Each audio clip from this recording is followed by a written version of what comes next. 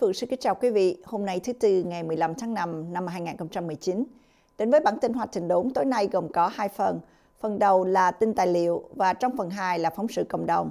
Để mở đầu, Quý Phượng cứ mời quý vị theo dõi tin tài liệu đặc biệt về Tòa nhà Quốc hội Hoa Kỳ với Minh Thúy. Minh Thúy xin kính chào quý vị.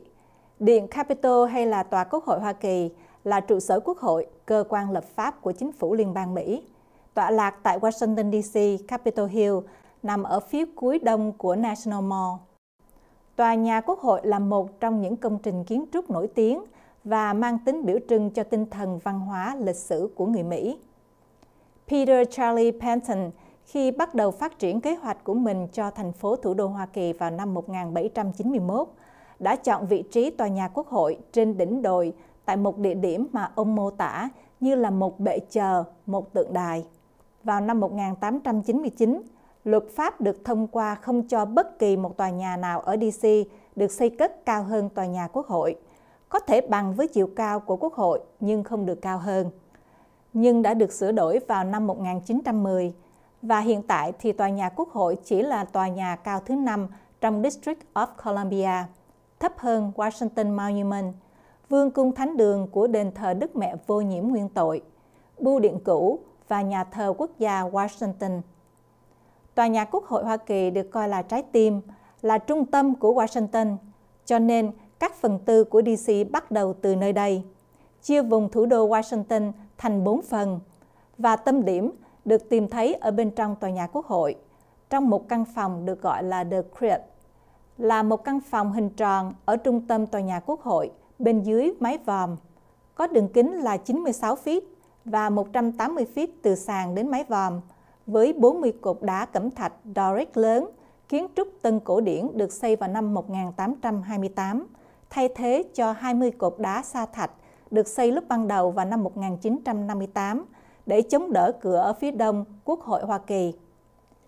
Trong The Crypt là 13 bức tượng từ bộ siêu tập tượng hình quốc gia đại diện cho 13 thuộc địa ban đầu và trưng bày bản sao Magna Carta, điều lệ về quyền tự do và quyền chính trị có được từ thời vua John của Anh quốc.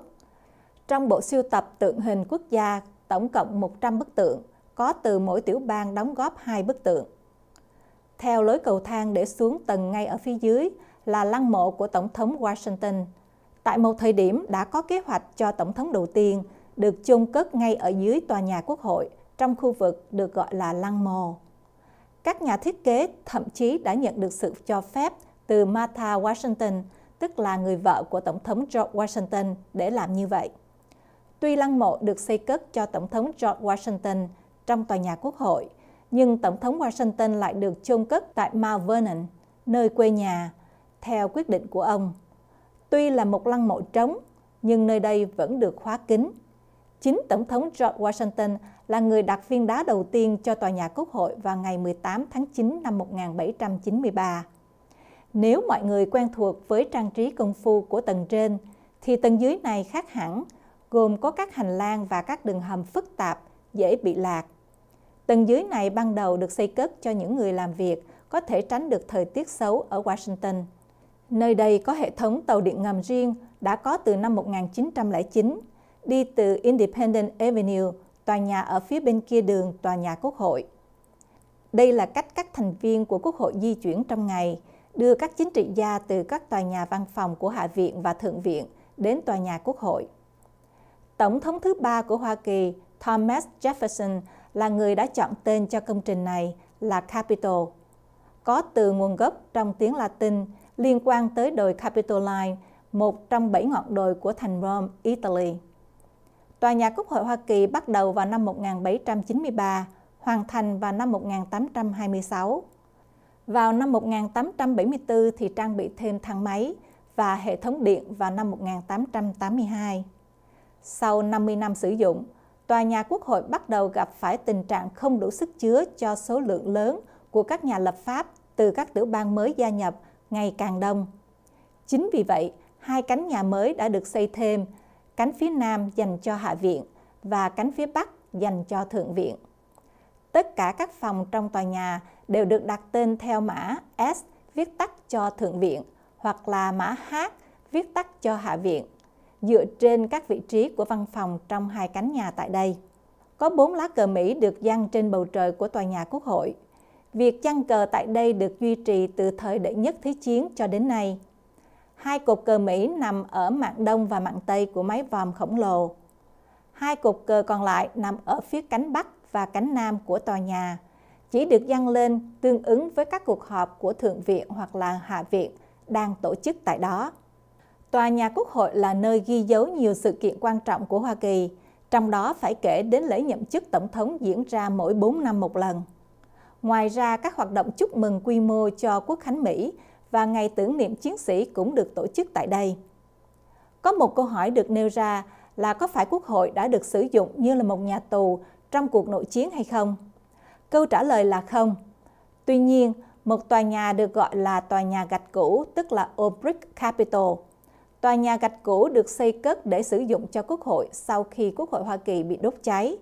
Khi xâm chiếm quân đội Anh trong chiến tranh vào năm 1812, tòa nhà này đứng trên một phần của khu vực hiện nay đang là tòa nhà tòa án tối cao.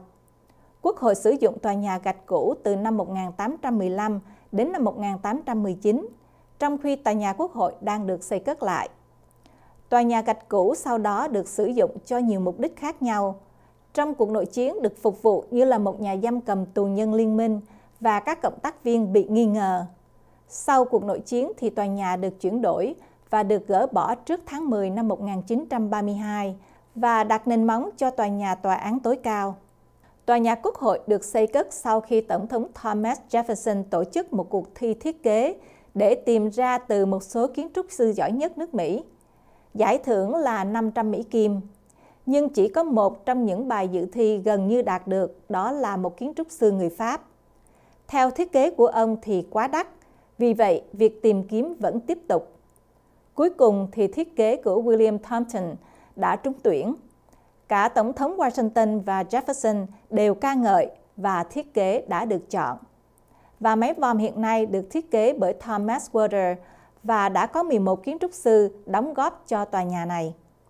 Nhiều người đã hỏi tại sao tòa nhà này lại xây mặt về phía The Mall thay về hướng ngược lại, giống như hầu hết các tòa nhà và di tích quan trọng khác.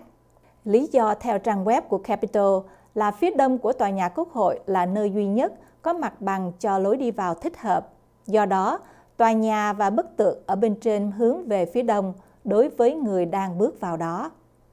Bức tượng của vua Kamehameha the First do tiểu bang Hawaii tặng nằm trên đỉnh vòm của tòa nhà quốc hội được gọi là tượng tự do.